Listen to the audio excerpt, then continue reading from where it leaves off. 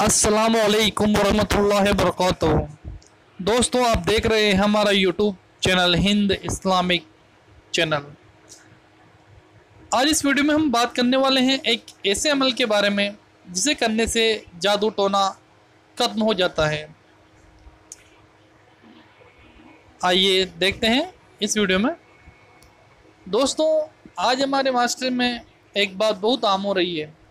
वो है जादू करना या जादू कराना। कुछ लोग कहते हैं, किसी ने मेरे ऊपर जादू करा दिया।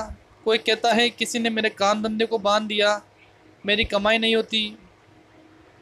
सास कहती है, बहू ने मेरे ऊपर कुछ करवा दिया। बहू कहती है, मेरी सास ने करवा दिया। बीवी कहती है, मेरी ननद ने कुछ करवा दिया। फिर जिटानी ने देवरानी पर, दोस्तों, आपको अगर ऐसा लगता है तो इस अमल को करें। इन ज़रूर शिफा होगी। आइए वीडियो शुरू करते हैं। वीडियो शुरू करने से पहले आपसे गुजारिश करता हूँ, हमारे चैनल को प्लीज़ प्लीज़ प्लीज़ सब्सक्राइब करें शेयर करें बेल आइकन दबाएँ। रोज़ाना रात को सोने से पहले किबला की तरफ़ मुँह करके बैठे या खड़े रहें। पहली बार आयतल कुर्सी की तिलावत करें और किबला रुख फूकें। दूसरी मरतबा फिर आयतल कुर्सी पढ़ें। ध्यान रहे, मुँह किबले की तरफ़ होना चाहिए और पीछे की तरफ़ मुँह करके फूकें। तीसरी मरतबा फिर से आयतल कुर्सी पढ़ें। इसमें भी किबला की तरफ़ मुँह करना है और अपने दाएँ जानब फूकना है। चौथी मरतबा आयतल कुर्सी पढ़ें, ध्यान रहे रुख किबला की तरफ़ हो और बाएँ तरफ़ फूकें। पांचवी मरतबा आयतल कुर्सी पढ़ें, इसमें भी रुख किबला की तरफ़ होना चाहिए और ऊपर मुँह करके आसमान की तरफ़ फिर फूके।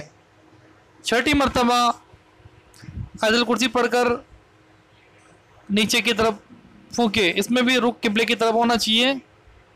इस तरह कुल मिलाकर छः बार यही अमल करना है। जिसने भी जादू करवाया होगा, वही जादू उस पर उल्टा हो जाएगा। और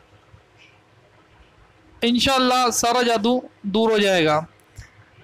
हज़रत आयशा सिद्दीक़ा रदिल्ला तु फरमाती है कि हुजूर सल्लल्लाहु वसल्लम को रात को सोने से पहले नीचे लेटते और सूर्य इखलास सूर्य नाज सूर्य फलक की तिलावत किया करते।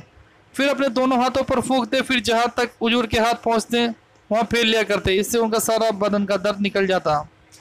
दोस्तों, आपको वीडियो पसंद आया होगा। अगर दोस्तों वीडियो पसंद आया तो दिल से मेरे चैनल को सब्सक्राइब करें, अपने दोस्तों को शेयर करें, बेल आइकन दबाएँ, जिससे आने वाली वीडियो की नोटिफिकेशन आप तक पहुँच जाए। दोस्तों सब्सक्राइब ज़रूर करें। अस्सलाम वालेकुम रहमतुल्लाहि व बरकातहू